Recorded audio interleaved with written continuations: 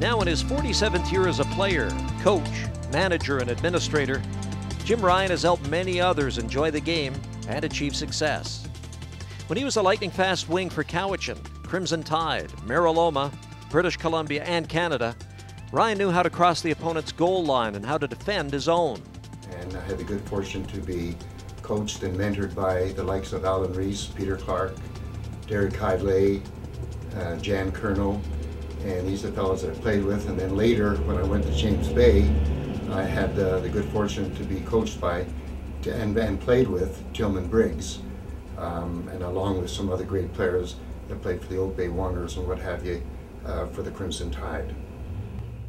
Ryan began his coaching career with the Meraloma under 17 and in 1971 coached the Vancouver under 19 that defeated Japan's schools.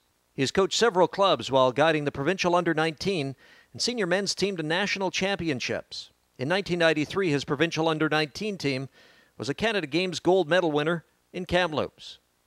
His most recent coaching assignment was an over 60 side that won the gold medal the World Masters in Edmonton. As a manager, he was in charge of British Columbia against Sussex in 1986, the USA Under 19 Tour of New Zealand in 1994, and the Fraser Valley Under 20 that won the national title in Newfoundland in 2007. Ryan also managed the British Columbia under 19 women and is currently in his fourth year as president of the Fraser Valley Rugby Union. I myself, I enjoyed my playing career, but I've definitely enjoyed my coaching career much more than I did as a player. Back in, in the first year of rugby, um, I was a player that uh, didn't play with contacts and I had very poor eyesight.